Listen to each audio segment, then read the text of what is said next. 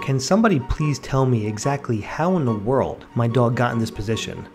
And he looks really comfortable, so should I move him? Or just leave him where he is?